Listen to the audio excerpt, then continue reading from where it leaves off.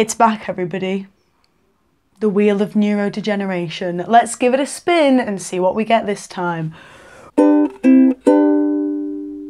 This video is sponsored by Brilliant.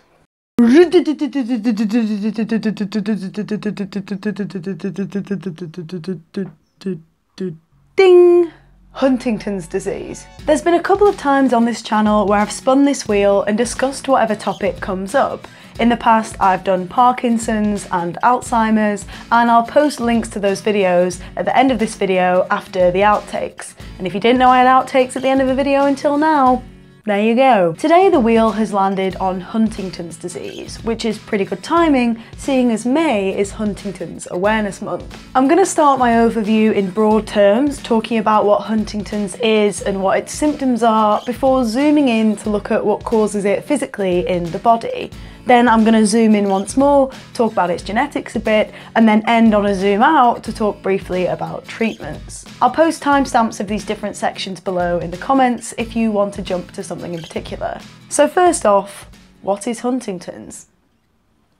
Huntington's disease is progressive, which isn't meant in a political way, more that it gets worse as time goes on. There's a wide range of symptoms, but the primary cause is the breakdown of brain cells, and that's why it's called a neurodegenerative disorder, because neuro means brain and degeneration means wearing away. Symptoms can become noticeable at any age, but commonly they'll develop between the ages of 35 to 55. There is a form of Huntington's known as juvenile Huntington's because it develops during adolescence or childhood, but it's quite a bit rarer and I'm not going to really go over it here. Being a progressive disease, symptoms change and worsen over time, and there's a really wide range of them. This is important because it means that Huntington's affects every individual differently. So people with Huntington's will experience a mixed bag of the symptoms I'm about to mention. This is similar to Parkinson's disease where I've made about nine different videos on different symptoms and I've still not covered them all. Despite there being a wide range of symptoms though, there are some that are characteristic of Huntington's. Initially, it's associated with uncontrollable movement. This may begin with slight involuntary movements and poor coordination, but as time goes on, the uncontrollable movements get more frequent and extreme. Eventually, however, movement ability completely flips, becoming difficult as muscles become rigid. And muscular problems impact your ability to do most things, including including eating and breathing and speaking. Alongside these physical side effects, there's a wide range of mental symptoms too. These may begin with trouble learning new information or difficulty making decisions, but as time goes on, they can include difficulty doing more than one task at once, or short-term memory loss, or an inability to recognise the needs of others, or increased apathy and reduced motivation, which from the outside can seem like laziness. There are also psychiatric symptoms such as depression and irritability, which may morph into suicidal thoughts and aggression. That's a lot of symptoms I've mentioned, but remember, not everyone will experience all of them. It's easy to associate Huntington's with its physical manifestation, but of course, the mental symptoms are just as real as the movement issues. Increased apathy and aggression are the kind of things that can make you feel, if you experience them, like you're losing your personality or humanity, especially if you don't recognise them as very real symptoms of a very real disorder, caused by very real chemical changes in your brain. So I always take a moment to try and emphasize that to make sure we don't forget that they're legitimate symptoms too. So that's what Huntington's is, but what causes it? Huntington's is unusual in the world of neurodegenerative diseases because it's very clearly an inherited disorder caused by a very specific genetic mutation. I'll get into more detail on that very shortly, but basically that mutation affects the way a substance called huntingtin works in your body. This dysfunctional huntingtin then causes the symptoms I mentioned earlier by leading to the death of brain cells. One key part of the brain that's affected is the striatum. Science brain area, striatum. It's here that there's a clear explanation for how movement problems arise. In basic terms, there are two main brain pathways that are affected here. There's the indirect and the direct. The indirect pathway discourages body movement, whereas the direct pathway does the opposite and encourages it. In Huntington's, the indirect pathway is degraded first, meaning that the pro-movement direct pathway has space to take over, and that's what leads to those early symptoms of excessive movement.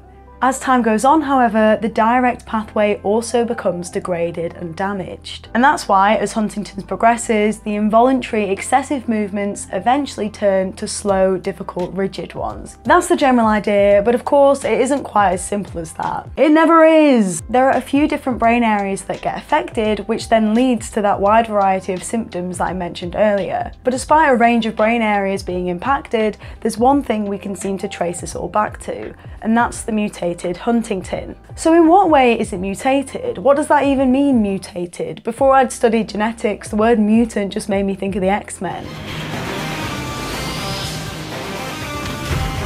That is such a tune, isn't it? Well, let me explain the genetics of Huntington's.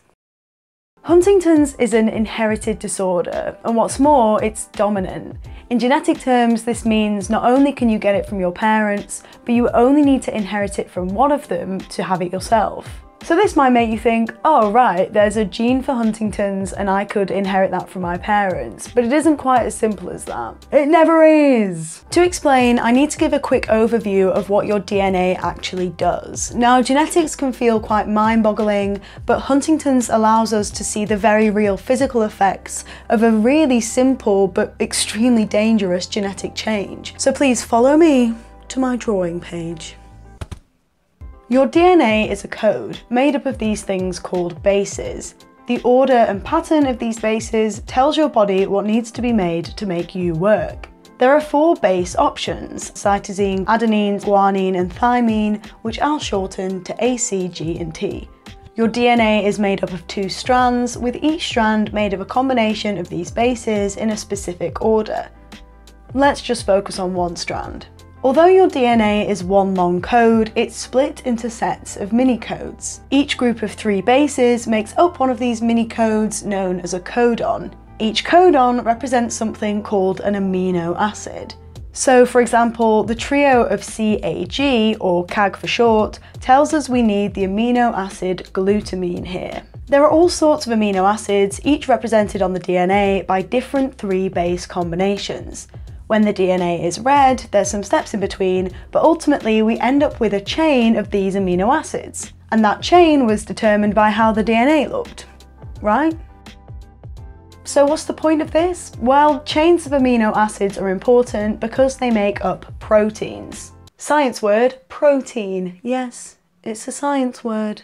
Now I know that the word protein, to someone who hasn't been in touch with science for a while, might conjure up images of shakes and chunks of meat, but in biology, proteins are just tiny little things that your body is full of. They come in all sorts of shapes and sizes, they have all sorts of different roles, and they're basically what keep your body ticking. Heck, they're what made your body in the first place. So everything you do, including stay alive, is governed by these proteins. And a protein is just a chain of amino acids. It's like if your body is a book, the sentences are the proteins and the words are the amino acids. This all means that the order of amino acids is vital. If any of the amino acids are misplaced or altered, that means a protein may be made incorrectly. And if a protein can't do its job properly, then things can go wrong in your body.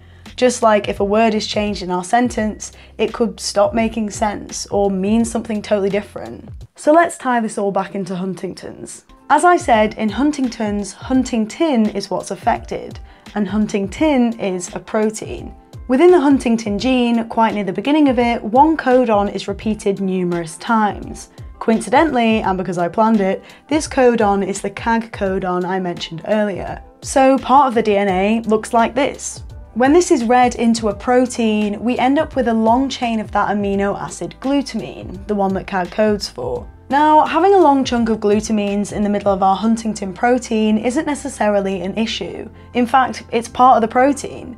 But problems arise when this CAG codon is repeated too many times. If someone has between 10 to 26 CAG repeats, then they're within the healthy range but someone with 40 or more CAG repeats will develop Huntington's at some point in their life. The regions in between show varying levels of risk. Someone with 36 to 39 repeats may develop Huntington's, but we can't be certain. And if they do, it tends to emerge later than in people in the 40 plus bracket and the symptoms are generally less severe. This leaves the 27 to 35 repeat range. It's generally thought that people with this number of CAG repeats don't develop Huntington's, but there's still a risk that their children might. This is because the gene could expand when it's passed on, and that could tip the number of repeats over into the danger zone. It's more likely that men will pass on an expanded version of the gene, as expansions are more common in sperm, and older men specifically carry a greater risk than younger men.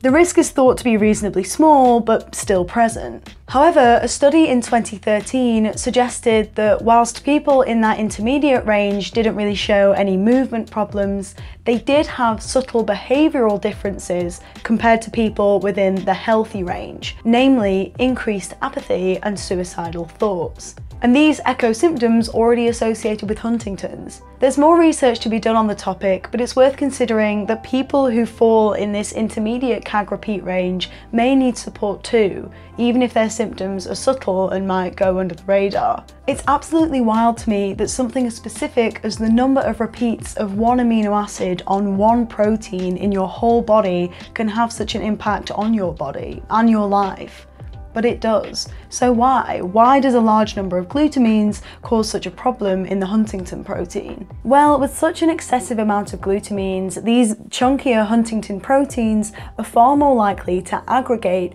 or form into clumps. No one told these Huntingtins about social distancing. Much like neurodegenerative diseases I've discussed before, having these clumps of protein in your brain causes major problems. They essentially get in the way of normal functioning and eventually lead to cell death and damage. Each disease I've discussed in the past broadly has a protein associated with it. Parkinson's has alpha-synuclein, Alzheimer's has beta-amyloid and tau, and Huntington's has Huntingtin. That then is the final piece of our puzzle those lumps of protein lead to the brain cell death I mentioned earlier, which then leads to the symptoms of Huntington's. That covers what causes Huntington's, so what about treatments?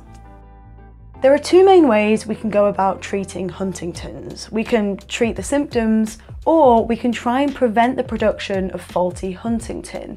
In other words, stop the disease at its source. It's safe to say though, at the moment at least, it's the former method that's generally focused on. Most treatments aim to relieve symptoms rather than prevent the disease developing. And this isn't unusual, it's the case for most neurodegenerative disorders. Treatments used to try and help ease movement issues in Huntington's include physiotherapy and the drug tetrabenazine. Science drug, Tetrabenazine. Tetrabenazine works by reducing levels of the chemical dopamine in your brain. Dopamine has a key role in triggering movement, and so reducing it helps to reduce involuntary movements. The other mental and psychiatric symptoms I mentioned earlier are generally treated with methods that aren't Huntington specific, so cognitive behaviour therapy or antidepressants may be used to treat depression. Unfortunately, this means that there are symptoms like apathy that aren't really treated in Huntington's because there aren't treatments for them really in any capacity. And that's why I again want to emphasise the importance of symptoms like this being regarded as legitimate symptoms rather than less frequently talked about side effects.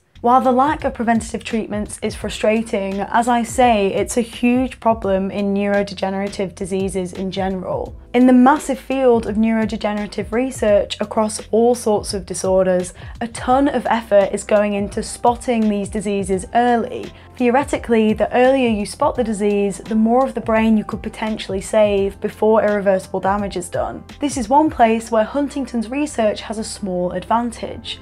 Because the cause of it is so clear and can be predicted, then it's more likely we'll be able to spot it early. And so, if we create a treatment that reduces the production of faulty huntingtin, then the disease may be preventable. Note the ifs and the coulds there, because of course it's not quite that simple. It never is! Despite this point of hopefulness, it is still early days. There is some promising research into methods that block huntingtin production, but they're still being trialled in humans. They've not hit the mass market yet. However, However, there is some hope, and something that drives that hope is what I've emphasised in previous videos the importance of the involvement of people with research. The world of scientific research can seem scary and distant and cold, but scientists who are doing research need to hear the voices of people who live with these disorders every day. People with Huntington's are such a valuable resource to those who study it, not just because your symptoms can be investigated, but because your experiences can be heard. So whether you have Huntington's or know someone who does, getting involved with research could be a conversation worth having. The reason I'm doing this video is because Peter got in touch with me via my Patreon and suggested I make it. Coincidentally, I'd been wanting to make it for a while, but I'm glad he alerted me to the imminent arrival of Huntington's Awareness Month. He brought my attention to the Huntington's Disease Association, or HDA, and I'm going to link their website below. They have loads of information, including how to get involved with research, so do head on over there if you're interested. I've also linked to a couple of articles from a website called HD Buzz, which is another great resource and explains the genetics of Huntington's really clearly. Whilst Peter gave me the push I needed to make this video, it also wouldn't have happened without the help of Brilliant. Brilliant have been my sponsor for the last few videos and their support means I've been able to give more time to producing content that I care about like this. And it's perfect because I really like what they do. They have an app and a website where you can learn scientific and mathematical concepts by solving challenges and working with interactive visualizations. No rote formula learning involved, just work through the courses bit by bit, complete challenges of increasing difficulty, and before you know it, you've tackled a topic that you always found cool but also intimidating. Like I am. just kidding. Here's one that I'm really into, an introduction to neural networks. I'm so interested in the brain, as you can probably tell, and so creating a computerized version in the form of artificial intelligence intrigues me. I was worried I'd find it confusing, but Brilliant have helped me work through the topic in a way that's way more enjoyable than sitting in front of a textbook. So if you fancy becoming unafraid of some deep knowledge, then go to brilliant.org slash sophsnotes to sign up for free. And the first 200 of you that follow that link will get 20% off your annual premium subscription. And you'll be helping the channel when you do. It's a win-win. But that's it for now. I hope you found this video useful and if you think you know of anyone that might find it useful too, please do share it and pass it on. If not, like it if you like it, comment if you have a comment, subscribe if you fancy subscribing to me, follow me on Insta if you want, tweet me if you have any thoughts, and that's it. Thank you so much for watching, have a lovely day, and remember to keep asking questions. And a huge thank you to my patrons with a shout out to Adam Dullinger, Terry Cox, Robbie the Space Raccoon, and my new patron, Colette. I could not do this without you lot either. More of that, please.